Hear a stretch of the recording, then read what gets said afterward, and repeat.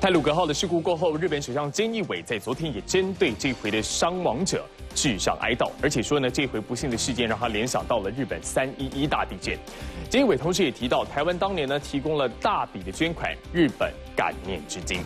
当然，这一回的司机员被 ATP 系统证实，他们真的在最后一刻尽了最大的努力在刹车。因为根据运安会的推估，这回呢他们的反应时间只有六点九秒，加上你刚刚看到的这个崇德到和人路段，在经过清水隧道之前，还会先经过一个隧道，所以驾驶等于是从暗处到明处。那眼科医师就说，你光要适应就要五到十二秒钟的时间，所以这难度真的太高了。